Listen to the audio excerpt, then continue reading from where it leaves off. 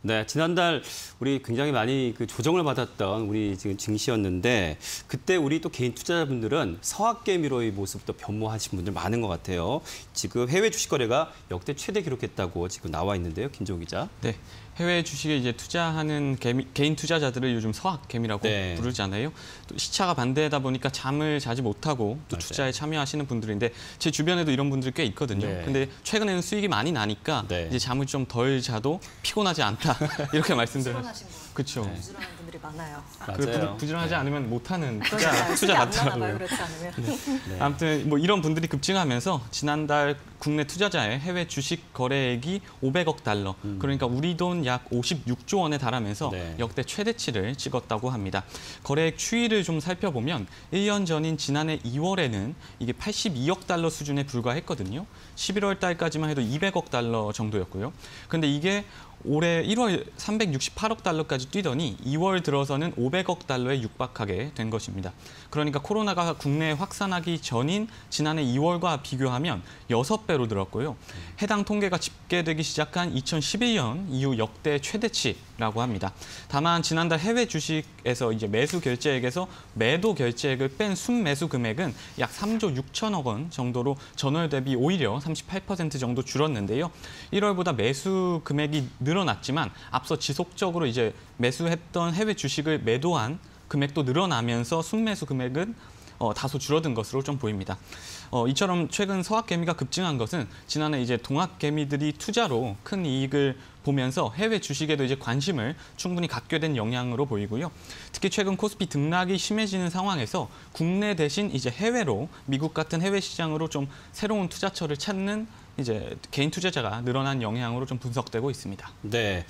자, 우리가 이 시간에 그 미국 공매도 이슈로 게임스톱도 그랬고요. 중국 기업 그 이항도 그랬고 좀 얘기를 나눴었는데 이를 종목에 우리 개인 투자자분들 굉장히 많이 매매를 했던 것 같아요. 이해라 기자. 네, 맞습니다. 일단 우리가 많이 떠올리는 해외 주식에 나선다라고 하면 떠올리는 종목 몇몇 종목들이 있잖아요. 그런 기존에 선호했던 종목들 이외에도 이제 새로운 투자처로 아, 이런 개인 투자자 여러분들이 많이 관심을 갖고 투자를 해 왔습니다. 어, 지난달 개인 투자자들이 이 해외 주식에서 관심을 가진 종목들을 순매수 액순으로 일단 정리를 해봤는데요. 첫 번째 부동의 1위는 역시 테슬라였습니다. 이 테슬라는 한화로 3,400억 원 가량을 순매수하는 움직임이 보였고 네. 이어서 2,600억 원 이상 순매수 집계된 종목이 팔란티어 그리고 유니티 소프트웨어로 나와 있는데요. 네. 이두 종목 모두 뉴욕 증시에 9월에 상장된 종목들입니다. 아, 팔란티어는 빅데이터 분석 기업이었고요. 유니티 소프트웨어는 게임 업체로 보시면 될 것 같습니다. 이어서 애플도 역시나 국내 투자자들이 많이 순매수한 종목으로 이름을 올린 상태입니다. 아, 또이 가운데 아, 단기 차익을 노린 움직임도 나타났는데 공매도 이슈 때문에 말씀을 하셨다시피 미국 개인들이 끌어올린 게임스톱이라든지 네. AMC 엔터테인먼트에도 우리 국내 투자자 여러분들이 많은 관심을 가진 것으로 보이고요. 또 중국 드론 업체 나스닥 상장된 이양홀딩스 같은 경우에는 그 공매도 보고서 나오면서 굉장히 많이 급락을 했습니다. 한 60% 급락 나오면서 우리 투자자 여러분들도 이제 팔아치우는 네, 그런 모습을 네. 보이기도 했습니다. 네. 자, 글로벌 증시, 우리 증시 같이 지금 변동성은 좀 커져가고 있는데 이런 상황 속에서 해외 주식에 투자할 때 어떻게 해야 되는지 좀 전문가들은 뭐라고 말씀하시면 궁금해지는데요. 유재 기자.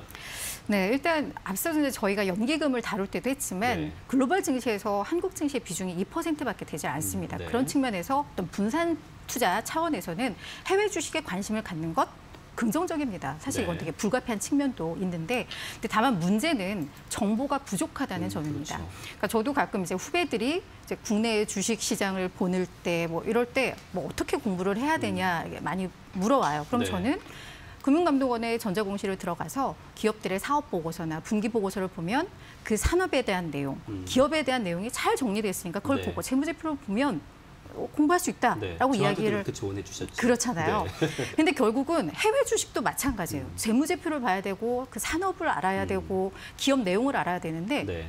우리에겐 언어의 장벽이 있습니다. 자, 영어. 사실 네. 국내 보고서도 제대로 보기가 힘든데 우리가 어떻게 해외 걸 보겠어요? 음. 그러니까 그런 측면에서 재무제표나 공시를 실시간으로 대응할 수 없다라는 게 음. 가장 큰 네, 뭐 네. 위험 요인이라고 볼 수가 있겠고요. 이뿐만이 아닙니다. 사실 많은 거래 비용들이 좀 들어가는데요. 네. 지금 해외 주식 같은 경우에는 이미 양도세가 부과가 되고 있습니다. 그 비중도 22%거든요. 그러니까 일단 여기서도 비용이 좀 들고 네. 그다음에 뭐 환전 수수료라던가 또한 달러가 계속해서 뭐 약세를 보일 때는 환차 손해 가능성도 있습니다. 네. 거기에다가 거래 수수료 같은 경우에도 온라인 기준으로 해서 국내 같은 경우에는 뭐 0.014에서 0.2%인데요. 해외 주식 거래 시에는 0.2에서 0.45%로 적게는 두배에서 많게는 10배까지 좀 차이가 납니다. 네. 그러니까 이렇게 높은 비용들이 좀 있기 때문에 해외 주식이 사실 만만한 거는 아니거든요. 네. 그렇기 때문에 전문가들은 일단 분산 투자, 해외 주식 투자도 분산 투자, 그러니까 국가나 섹터별로 분산 투자를 하고 네. 본인이 이렇게 하는 게 어렵다면 ETF라던가 펀드를 통해서 전문가들에게 좀 맡겨라, 전문가를 믿어라 이런 조언을 많이들 하고 있습니다. 네.